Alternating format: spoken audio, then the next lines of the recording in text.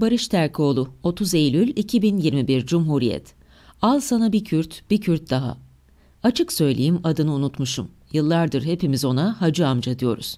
Biz büyürken onun sakalları beyazladı. Çay ocağında bir o yana bir bu yana delikanlı gibi koşturur. Ama yüzündeki derin çizgiler yaşını ele verir. Aslında bildim bileli milli görüşçü. Öyle kravatlı tıraşlı takımından değil, damardan. Erdoğan milli görüş gömleğini çıkardım dediğinde bile anlayışla yaklaştı. Mecburen dedi. Çizgisinden vazgeçmedi. Doğulu, iyi Kürtçe bilir. HDP'lilerle pek anlaşamaz. Gençliğinden beri Erbakan'ı desteklemiş. 1991'de Refah Partisi MHP ile ittifak yapınca hoşlanmamış.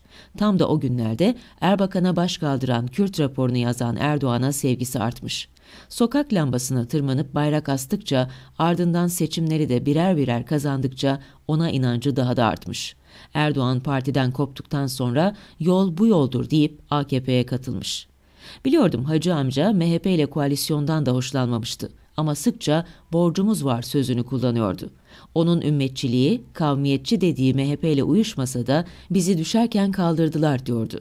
Geçen hafta geçerken çay ocağına uğradım. Tam da Kılıçdaroğlu Kürt sorunu tartışması başlatmıştı. Bahçeli de öyle bir sorun yok diye sert çıkış yapmıştı. Biraz kaşımak için Hacı amca Türkiye'de Kürt sorunu var mı yok mu diye takıldım. Hacı amca memleketi bırak sen asıl AK Parti'deki Kürt sorununa bak dedi. Tabii bir şey anlamadım. Nasıl yani dedim. Telefonunu çıkardı. Mazide kalmış o kısa videoyu izletti. 7 yıl önce Erdoğan, babamın memleketi Urfa'da kürsüde konuşuyordu. Çözüm sürecini savunuyor, Fethullahçıları eleştiriyordu. Derken bana hala komik gelen bir şey oluyordu. Erdoğan kürsüde söze şöyle giriyordu. Şimdi devamlı konuşuyorlar. Kürt aşağı, Kürt yukarı. Al sana bir Kürt, al sana bir Kürt daha. Bu sırada bir eliyle Mehdi Eker'i gösteriyor, öbür eliyle Mehmet Şimşek'i işaret ediyordu. Onlar da kalabalığa el sallıyordu. Erdoğan devam ediyordu. Mehmet Şimşek, Türkiye Cumhuriyeti'nin parasının başında. Öbür tarafta Mehdi Bey'e bakıyorsunuz, Gıda Tarım ve Hayvancılık Bakanı ve Diyarbakır Milletvekili. O da bir Kürt. Veysel Bey de buranın Fahri Bakanı. O da Fahri Kürt. Kısa videoyu izleyince gülümsedim. O günden beri dilime de yapıştı açıkçası. Al bir Kürt, bir Kürt daha diye bayağı mavra yaptım. Ama hacı amca ciddiydi. Suratı asıldı. Ya şimdi dedi. Ben duraklayınca başladı anlatmaya. Söyle bana dedi, devam etti. Cumhurbaşkanını biliyorsun. Peki yardımcısı nereden? Açıkçası bilmiyordum. Yozgat diye devam etti. Ya meclis başkanı dedi. Onu biliyordum. Mustafa Şentop, Tekirdağ vekili diyerek şıp diye yanıt verdim. Aferin dedi hacı amca, sürdürdü. Peki dedi, mecliste bizim partinin grup başkanı dedi. Naci Bostancı tabii ki dedim. Amasya dedi, bıraktı. Nefessiz devam etti. AK Parti'nin mecliste kaç başkan vekili var diye sordu. Dört ya da beş dedim. Düzeltti. Beş dedi.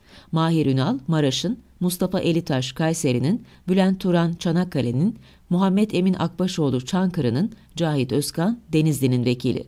Nefessiz saydı hacı amca. Bu kadar mı dedim. Daha dur dedi. Başladı bakanları sıralamaya. İçişleri Bakanı Trabzon, Turizm Bakanı İstanbul, Milli Eğitim Bakanı Tokat, Milli Savunma Bakanı Kayseri, Sağlık Bakanı Konya, Sanayi Bakanı Trabzon, Tarım Bakanı İzmir, Ticaret Bakanı Trabzon, Ulaştırma Bakanı Trabzon, Çevre Bakanı Ankara, Gençlik Bakanı İstanbul, Adalet Bakanı Antep, Aile Bakanı Osmaniye, Çalışma Bakanı Bayburt, Dışişleri Bakanı Antalya, Enerji Bakanı Bilecik, Maliye Bakanı Karaman. Hakikaten Hacı amca haklıydı. Erdoğan devletin tepesine bölgeden haber alacağı, bölgedeki yurttaşa el uzatacağı, en azından vitrinine koyacağı kimseyi oturtmamıştı. Hani yarın yine seçim vakti kürsüye çıksa, al bu Kürt, bu da Kürt diyeceği bir kişi bile yoktu. Hacı amca bitirdi sandım, bitirmemiş. Zaten yeni sistemden sonra ne parti ne teşkilat diye bir şey kaldı diye şikayet etti. Sonra AKP'nin kare asını yani Merkez Yürütme Kurulu'nu öğretti bana.'' Genel Başkan Vekili Binali Yıldırım'ın Erzincan Refahiye'den İzmir vekilliğine uzanan hikayesini anlattı. Öbür Genel Başkan Vekili Numan Kurtulmuş Ordu, Siyasi ve Hukuki İşler Başkanı Hayati Yazıcı Rize, Teşkilat Başkanı Erkan Kandemir İstanbul, Seçim İşleri Başkanı Ali İhsan Yavuz Sakarya, Tanıtım ve Medya Başkanı Hamza Dağ İzmir, Dışişleri Bakanı Efkan Ala Erzurum, Bursa, Sosyal Politikalar Başkanı Jülide Sarı Eroğlu Adana, Yerel Yönetimler Başkanı Mehmet Özhaseki Kayseri, Ekonomi İşleri Başkanı Nurettin Canikli Giresun, Sivil Toplum ve Halkla İlişkiler Başkanı Özlem Zengin, Tokat, İnsan Hakları Başkanı Leyla Şahin Usta, Konya, Şehir ve Kültür Bakanı Çiğdem Karaaslan, Samsun, ARGE ve Eğitim Başkanı Mustafa Şen, Trabzon, Parti Sözcüsü Ömer Çelik, Adana, Bilgi ve İletişim Başkanı Ömer İleri, İstanbul, Genel Sekreter Fatih Şahin, Ankara. Hacı amca bir çırpıda saydı. Hakkını yemeyelim dedi. Mali ve İdari İşler Başkanlığına çok şükür Vedat Demiröz gelmiş de Güneydoğu'dan Bitlis'ten birini parti yönetimi görmüş dedi.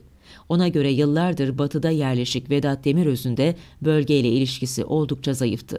Bir de parti içinde muhabbet olduğunda doğma büyüme İzmirli Gençlik Kolları Başkanı'nın aileden Urfalı olduğu konuşuluyordu.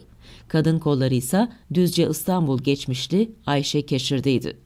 Yıllarca ben eleştirmiştim, o savunmuştu. Bu kez o bana anlatıyordu. Kafası karışmıştı. Ona göre AKP'nin MHP ile yaptığı siyasi ittifakın ötesine geçmişti. Parti Kürt sorunu yok derken Kürt de yok noktasına gelmişti. Anlattığına göre AKP Güneydoğu'da Kürt kökenli yurttaşlarla mesafelenmişti. Bununla da kalmamış Erdoğan kendi çevresinden al sana bir Kürt, bir Kürt daha dediklerini uzaklaştırmıştı. Hele Davutoğlu ile Babacan'la gidenlerle ara iyice açılmıştı. Erdoğan'ın Kürt kökenli yurttaşlarla ilişkisini en net anlatan kelime güvensizlikti. Eskiden muhalefeti eleştirirdik, hepsi bir bölgenin partisi derdik, memleketin bütün renkleri yalnız bizde var derdik. Şıhları, ağları bile kaybettik. Şimdi ara ki tunne tunne diye bitirdi hacı amca. Demli çayı içip kalktım. Ben çözümü yıllar önce bulmuştum. Bana göre yurttaşlık hiçbir rengi dışarıda bırakmayan eşitlik demekti. Hacı amca ise yıllardır yurttaş lafını hiç kullanmıyor, ümmetiz ya dahası mı var diyordu. Dahasını ararken sonunda eldeki bulgurdan olmuştu. Yolda hacı amcanın sakallarını düşündüm. Gözüme her zamankinden beyaz gelmişti. Yüzündeki çizgiler de sanki daha derinleşmişti. Yeterince uzun yaşarsanız bütün zaferlerin yenilgiye dönüştüğünü görürsünüz demiş Simon de Beauvoir. Uzun yaşadı dedim. Belki de istemediği kadar uzun yaşadı. Barış Terkoğlu